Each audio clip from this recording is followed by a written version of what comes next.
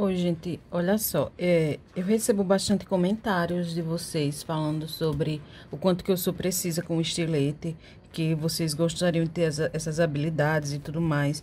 E é tipo assim, prática, né? É, eu não acho que eu sou tão boa assim. Eu acho que eu sempre tenho que melhorar. Mas eu imprimi a alerquina para um topo de bolo e não consegui fazer com que lesse a marca de registro para poder fazer o recorte. E então, já que não leu, eu imprimi a segunda vez para poder fazer uma outra camadinha para ficar mais duro, mais fixo. E eu vou cortar aqui. Então, eu vou mostrar para vocês mais ou menos o que é que eu faço. Ó, eu tenho esses dois estiletes. Eu não uso esse, não porque não seja bom a lâmina, mas é o fato da, de pegar a forma que pega nele. É, eu sinto muitas dores na mão, nos ossos e tudo. Então, esse mais grosso assim, eu tenho que, que fechar a mão, fazer mais força. E esse daqui é mais fininho, é mais fácil de pegar, é como se fosse um lápis, uma caneta. Então, eu tenho mais facilidade, dói menos a minha mão. Então, quando ele é assim, eu consigo tremer menos, porque desde que eu me operei essas dores, eu não consigo ter tanta firmeza na mão.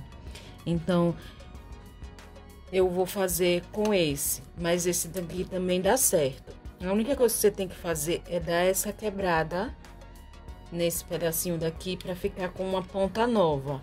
Não adianta, gente, você pode fazer 15, você corta 15 vezes. Se você quer que fique perfeito, você corte 15 vezes para que a lâmina esteja 100% para fazer isso. Essa daqui é nova, eu acabei de colocar. E a única coisa que eu vou fazer, gente, é a mesma coisa que cortar na tesoura.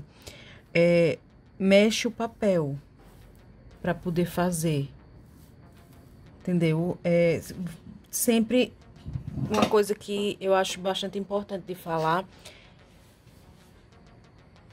é a questão da da linha. Eu não faço linha para cortar, mas eu faço uma linha imaginária. Então eu tento fazer essa partezinha daqui bem perfeitinha.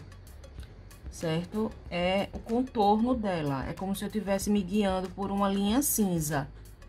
Certo? Então é basicamente isso que eu faço. E vocês veem muito aí eu fazer essas coisas numa rapidez, mas é porque eu acelero bastante o vídeo. Então, eu vou fazer aqui sem acelerar para que vocês possam ver que é um processo um pouco demorado. Quanto mais prática você tiver, mais rápido vai ficar. Então, quando você não tiver nada para fazer, se você quiser realmente ter essa habilidade com o estilete, você... Deixa eu fazer com esse para não estragar a ponta do outro.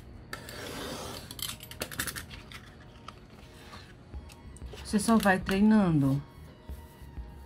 Você treina o, corte reto, você treina um zigue-zague. Você vai treinando é, a forma que você vai fazer, entendeu? Aí você vê que aqui eu não botei força nenhuma, por isso que nem chegou a cortar do outro lado, tá vendo? Então, é isso que você tem que fazer. É, você vai ter que aprender é, essa questão do girar o papel. Não é sempre que você precisa girar, é sempre que você necessitar, que você vê que tem uma coisa que você precisa fazer. Por quê? Porque assim como a tesoura, toda vez que você tira o estilete do papel, é um corte novo. Então, você perde aquele caminho único que ele vai fazendo. Então, o importante é fazer isso. Agora, é prática, gente. Tudo isso eu fui treinando e vendo e observando quando eu vou fazendo. Então, bora lá. Eu vou começar pelos cantinhos menorzinhos e depois eu faço o maior. Aqui. Como eu quero já cortar, eu fixei e, e enfiei, tá vendo? Pra que eu já saiba o ponto e ele não fique mastigando o papel.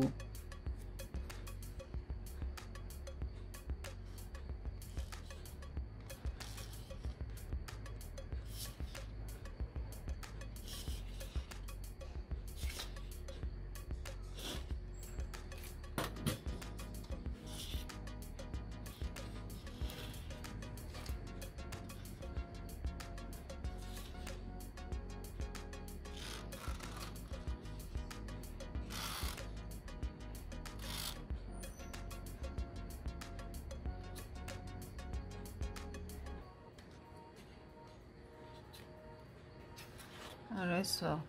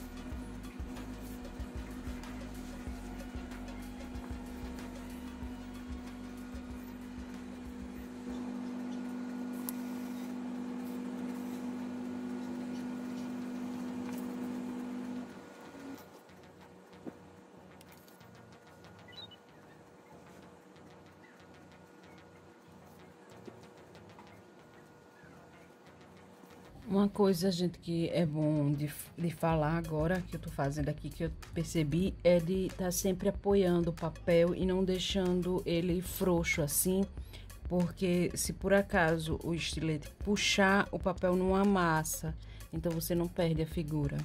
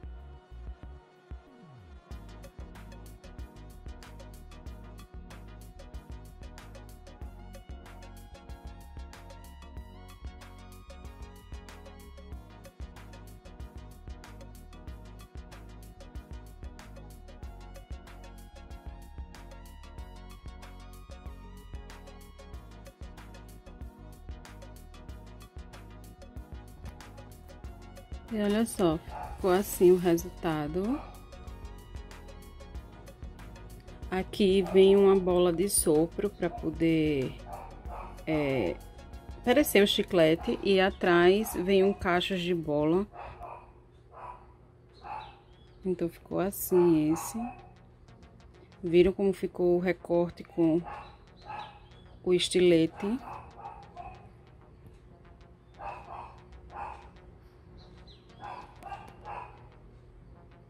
E aí, gente, o que vocês acharam?